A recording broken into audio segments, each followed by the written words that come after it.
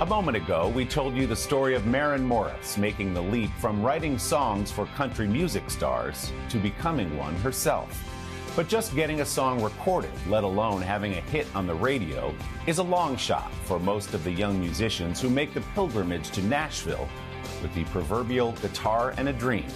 So now there is a community of songwriters working together in the hopes of making it big in Music City. NBC's Kathy Park has our Sunday spotlight from Nashville. Pull a group of Nashville bass artists together under one roof. Give them a track, a theme, and 30 minutes to write a hook.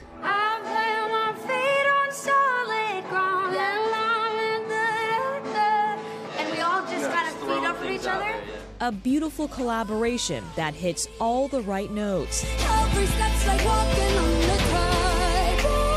Some taking off with millions of streams on Spotify. We've become an accidental label, we've become an artist development team, and it's, it's creating waves here in Nashville. Tyler Ward is one of the creators of Songhouse, a community of songwriters producing music in minutes. We get to test and see what connects, and it works.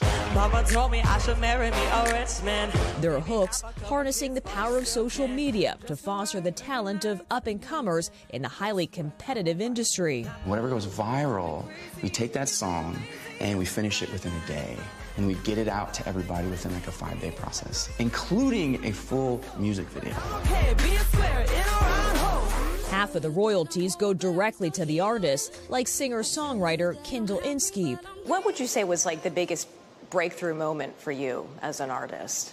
Standing in this in this room right here and um, recording Honest. But if I'm being honest, I'm not being honest. The song soared with 13 million plays on Instagram, 5 million views on TikTok, and 7 million streams on Spotify. But beyond the numbers, the supportive culture keeps songwriters coming back for more, with applications pouring in from all across the country. We're a bunch of like misfit toys that come into one setting and just spill our guts and hope that people resonate with it.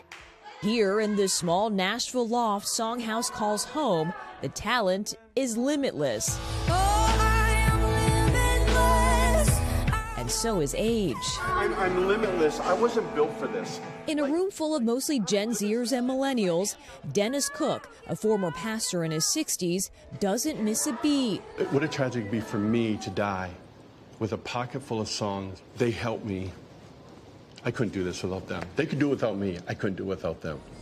In a house built on music People try to make me smaller. and friendship, That's amazing. That's am- you're good.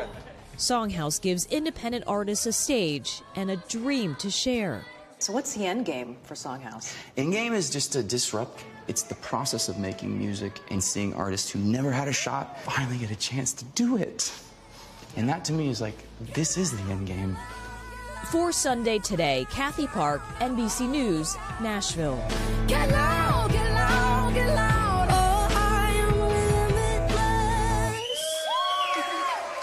Remember some of those names and faces. Kathy, thank you very much. Hey, thanks for watching our YouTube channel. Find your favorite recipes, celebrity interviews, uplifting stories, shop our favorite deals, and so much more with the Today app. Download it now.